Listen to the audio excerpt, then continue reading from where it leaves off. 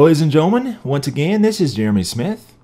As you guys may have seen, I do have an Adobe Lightroom and Photoshop playlist. It has been ab abandoned for quite a while now, so in 2020 I decided to get back to making some videos about software.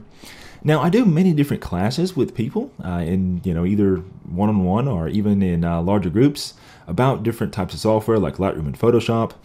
And one of the biggest questions that comes up is how on earth do I get started with Lightroom? How do I even get my images into the program to begin working on them? Adobe Lightroom is a little different because it's not an image browser like something like, say, Adobe Bridge. Um, it actually is a database, so you have to go in and tell Lightroom which images you want to be included in said database. Now, the other thing about Lightroom is, these days there's actually two different versions. Adobe, they had the brilliant idea of giving the new program the same name. So they basically have Adobe Lightroom now. And then the Lightroom that we've known for all these years is now called Adobe Lightroom Classic. Today we will be talking about Adobe Lightroom Classic. We will talk about Adobe Lightroom in a future video. First of all, whenever we get ready to get our images onto the computer, the first thing we need to do is go ahead and take the card out of the camera now, you can technically go ahead and plug your camera directly into the computer to do this as well, but I definitely prefer just to take the card out and use a card reader. It's just a lot faster. So we'll go ahead and do that now. Let's see here, go over there, okay. And the moment you go in and plug in uh, your memory card, a lot of times the program will pop up a little dialog box um, that basically asks you, you know, what you want to do. And uh, this is the point where you would normally just go and click on import and they go straight into the program. And this totally works. But one thing about Adobe Lightroom is it kind of wants to manage everything for you. And uh, it kind of wants to, you know, put the images where um, it wants to put them. Now, this is not really a bad thing.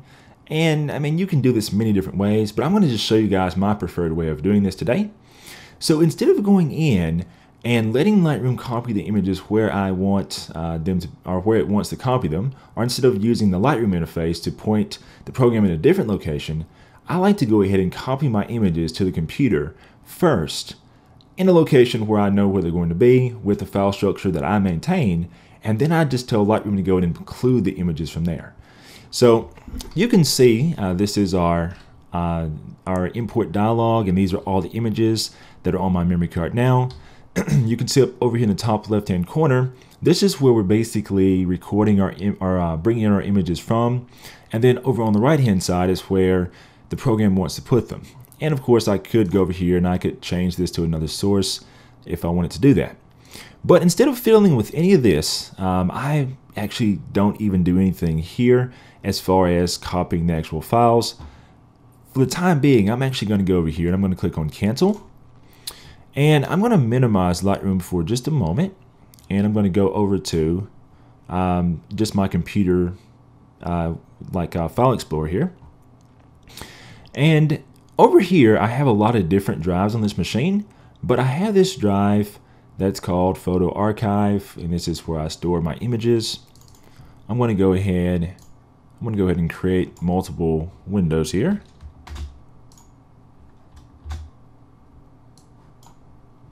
Okay, so now over on the left hand side, I have one window, and I'm going to go ahead and click on that uh, removable drive, which is my memory card, and go in here and go in there, and then there's the images that I have on my card. And then what I'm going to do is I'm going to go over here on this side and I'm going to create a new folder.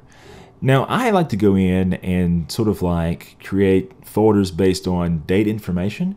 So I'll go in and I'll have like a I'll have like a date first and then I'll have a little bit of a description of how I want my files or, or what what uh, what the files are. So like uh, I'm going to just create a new folder and I'm going to give it today's date and I'm going to call it 1-27-20 because that's today.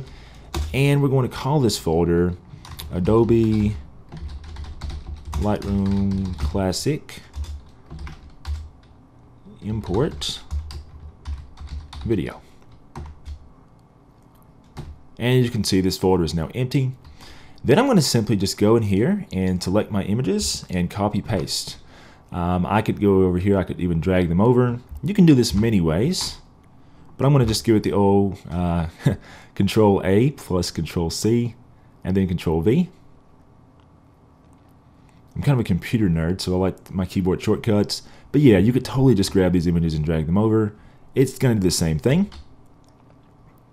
Okay, so now we've already gone ahead and we've copied these files to the location where we wanted them to be. So at this point, I'm going to go down back to Adobe Lightroom again, and I am going to go and click on Import again, just like this. You can get to the import dialog, of course, a few different ways, just like most software. We can go to File and import uh, photos and video, or we could go over here and just click on where it says Import. Either one gets the job done. And you can see uh, Lightroom is going to still continue to default to that removable uh, disk, which is our memory card, because that's kind of what it's programmed to do because it knows, hey, this is not a device that's going to be uh, sticking around and it's assuming that this is where you want to copy things from. But basically, we've already gone ahead and done the copy step. So at this point, we've gotten the images copied off the memory card. Now we just want to tell Lightroom where we copied them to and then go on about our day. So if I come up here I'm going to change this from removable disk. I'm going to go over to where it says other source. And then I'm going to just simply navigate to the location of the drive where my images are stored, which in this case is this photo E. Then I'm going to go over here, uh, my pictures, and I put this into a folder that says, um, let's see here, it's called camera test. And then if we look in here, you'll actually notice that we do have our files right there. 12720 Adobe Lightroom Classic import. So select folder, and then there they are. Now, here's a very important step. Up at the top, you'll notice that there's a few different options here. You see an option that says copy as DNG, copy, move, and then add. At this particular step, we would want to make sure that add is selected. And the reason being is because we don't want to copy uh, as DNG. That's going to convert our file type. That's something we could get to in another video. Um, we don't want to copy the files. We don't want to have two copies of these images. Um, and we certainly don't want to move the images because we've already put them in a location where we wanted them to be. So at this point, we just go to add. And I always told people to think of add as uh, saying include in database. You know, we're basically telling Lightroom that the files in this folder need to be included as part of its catalog. So we have that selected. And we could go through here and, you know, kind of check and uncheck multiple images if we wanted to. Um, we're in what we call the grid view in Lightroom, which is indicated by this little um, sort of like grid looking, tile looking sort of icon here. We could go to loupe view if you wanted to, like this, and that would allow us to actually go through our images one at a time. And we could decide whether or not we actually want to um, import these. You know, you have a little option to include an import down there. But what I tell people to do is, I tell people to just go ahead and import everything that you've copied. And in Lightroom, there are some uh, pretty powerful culling options. So you can go through and you can quickly narrow down which images you want to keep and which ones you don't. So I just say go ahead and import everything at this step. There's an option over here that says build previews. It says one-to-one, -one, minimal, embedded in sidecar standard. Um, if you don't want to have to wait on Lightroom, to like render an image after you sort of zoom in, you can go ahead and click on one to one. I usually leave mine uh, selected uh, on, and I just usually leave it on one to one all the time.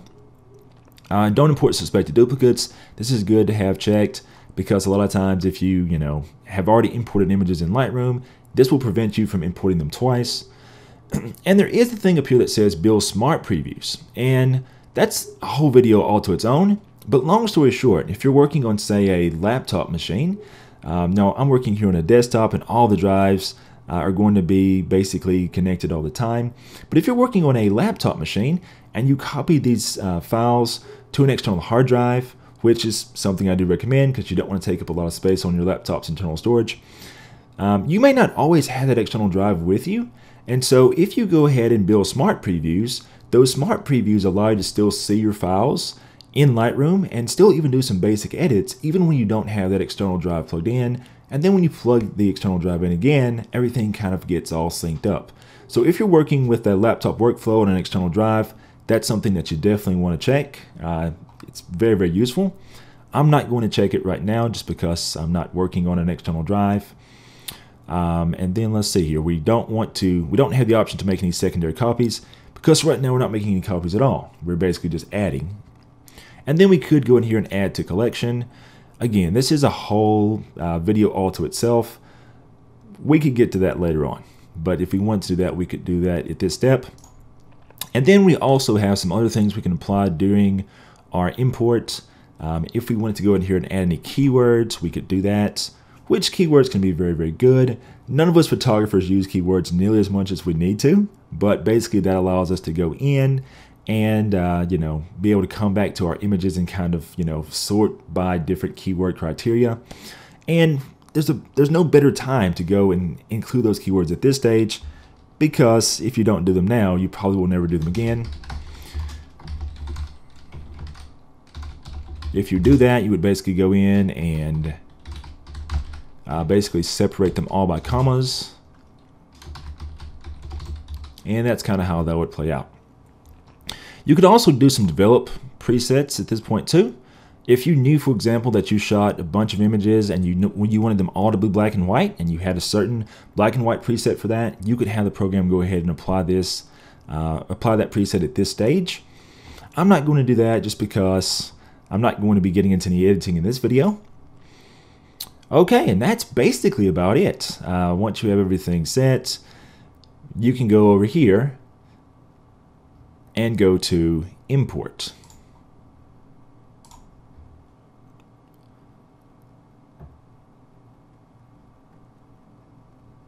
And as you can see, here are images. Everything is all imported. We can go through things from here.